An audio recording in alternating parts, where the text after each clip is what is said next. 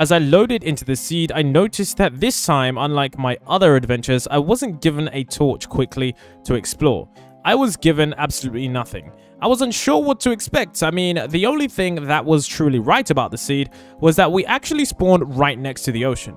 This was a good sign, considering the bloop is a massive behemoth of a creature, measuring to be 200 foot wide and 150 foot deep. We were looking for an incredible behemoth of an animal. Now, of course, it goes without saying that this is a creature that is incredibly hard to find, and if we were going to find him, we would have to somehow navigate the deep trenches of Minecraft. Now, of course, this is something that isn't easy to do, so what I wanted to do, considering I spawned in a sand biome, was go to a biome in which there were just trees. Now, of course, the only way I knew of that was to go over there. Now, of course, my render distance was set to equivocally short, simply because I needed that extra space in my Minecraft. For some reason, it's been quite laggy, but nonetheless, I still enjoyed it. But that's when something crazy happened. As I was moving over to the alleged biome, something started spawning in front of me.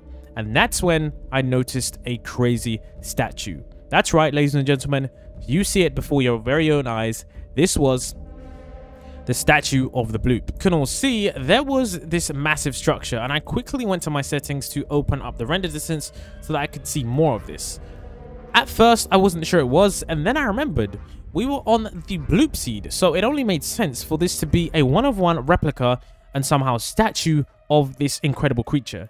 Now, first, it was quite terrifying. I mean, if you look at the sheer size of this, it's absolutely incredible. It measures to be around 100 blocks tall and around 50 blocks wide. A very, very hard build in Minecraft. And what's even crazier is that all the space underneath it was specifically carved out and it had around three signs nearby explaining just exactly what we were looking at. Now, if you don't know what the bloop would look like if it were real in Minecraft, that's the exact size. And you can imagine being swallowed by a creature that large. That would be truly truly terrifying. So I wanted to know exactly more about the structure. Things such as who built it, how long it took, and exactly if it was, for our example, maybe it was the actual structure from the bloop's head. Maybe they somehow managed to capture it and place it there. So of course I went over and I checked it out. It said this seed is dedicated to the bloop, the large creature which has not been seen in a while. But we have made this statue to remember him. So Unfortunately, it looks like my first initial observations, I was completely wrong. I thought this potentially a true extraction of the creature from the water, but nonetheless, it didn't make it any less awesome because, I mean, this structure probably would have taken hours and hours to build. Now, it said use jetpacks to view this structure. So, of course, naturally, I placed the jetpack on my back, I loaded the fuel in my reserves, and then, of course, I applied the night vision goggles.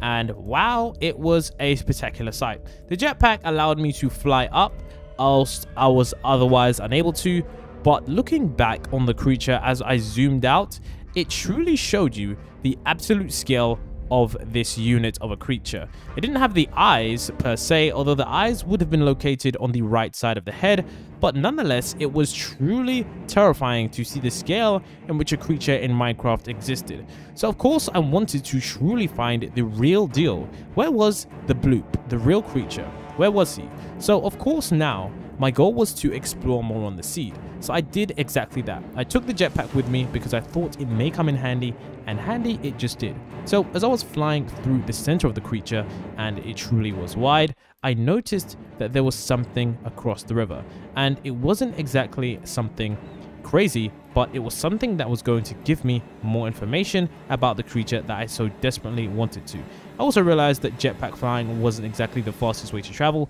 so I quickly took the jetpack off. So I started to travel, and as quickly as I traveled, I realized what exactly this world was. This world just wasn't a random bloop seed. There was more going on, and I decided that I would travel to the nearest structure nearby. Now, as I ran and jumped over these crazy structures, I realized that there was a village nearby. But this village was quite strange. You see, it had portion of it that were actually sectioned iron blocks. Now, this is strange for two reasons. Number one, villagers don't really spawn in these kinds of locations. And number two, you never see iron blocks around these villages, meaning that this village was somehow fortified for a reason that I didn't understand. There was also a scientist nearby on the edge of the water, perhaps looking at something strange. I wasn't exactly sure what it was, so of course, naturally, I wanted to go and talk to him. Upon entering the village, I saw a first sign that actually made sense.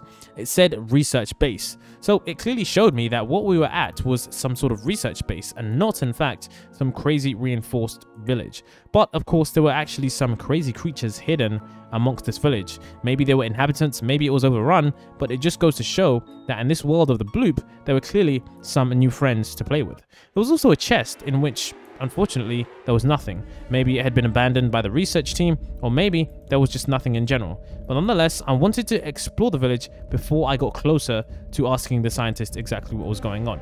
At first, it was hard to find out exactly what was going on, but I realized that there was a villager acting very strange inside one of the research stations. So I went inside, but to my surprise, there was nothing there. I also wanted to continue looking around, seeking if there was any more information, because of course a bloop is a crazy creature. And just that, I managed to find this villager here. He managed to give me a decent amount of information. When I asked him what was going on, he said, have you heard anything? And I was a bit confused, but then I remembered that the bloop was a creature that actually created huge sounds. You see, this strange huge mouth that you see actually created the noise and which why we call the creature the bloop.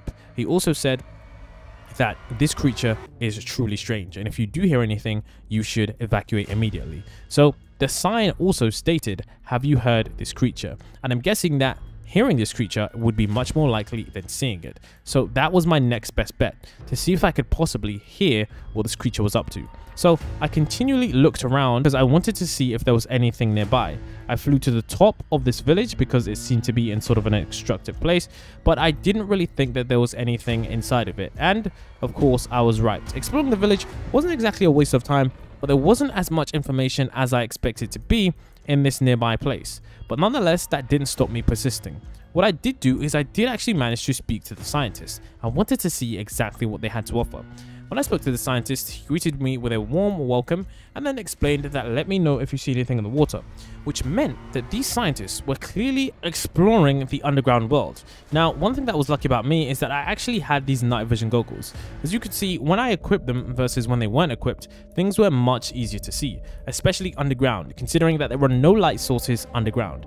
So the scientists said at night big creatures come out and that was truly scary because I was too close to the water and I remember the last time I explored a water source at night. It was truly terrifying, especially in a secret base in which all the creatures were quite dangerous. I was truly hesitant about what creatures I might find because the creatures that exist in this crazy world are truly dangerous. And of course, the scientists weren't that equipped to face any of the dangers. I also noticed that there was another scientist nearby and I wanted to speak to him too. He stated that there he that he was a marine biologist. He said that we're working on finding Bloop, okay? He's quite an evasive creature, and that have we seen the statue? Now, of course, I'd seen the statue which commemorates Bloop, but it was quite scary knowing that this creature was just out there and probably eating everything and anything that it may come across its path. And one of the truly terrifying things was that there were these crazy water creatures that were truly dangerous, and as I walked into the water to explore and look for Bloop, that was something that was going to be more and more evident. And luckily I had my jetpack to save me, because every time I went into the water, there were creatures very much trying to harm me. The first creature I came across was a sort of turtle looking hybrid. It didn't seem too dangerous at first, but that's until I got too close and I struck it. It then decided to wander off into the night, and I think it was truly triggered or dangerous. There were also some crazy birds around. There were too many creatures for my comfort, and it was quite the scariest thing as I was being picked up and taken away by a bird in this blue dimension. I wasn't exactly sure what was going to be going on, but I just knew I had to get out of there quick. Depths of the water, I was quite unsure what I might find. I was hell-bent on finding bloop, but I realized that my jetpack wasn't going to work underwater, and quickly I succumbed to crazy creatures at the depths of the trench. It was unfortunate, but this was something that was going to happen, especially if I was trying to find Minecraft's most dangerous creature. When I spawned back, it was pretty scary. There were mobs everywhere and the bloop statue seemed to come alive. I wasn't exactly sure if the bloop was out now, but I had no sure way of finding it. I was in a very dangerous position. I realized that the bloop seed was one that was truly scary. Yes, there was a crazy structure. Yes, it had spawned in many of its friends and many of its crazy sharks, but I was determined that I would never potentially come back to this seed without much more resources and much more time because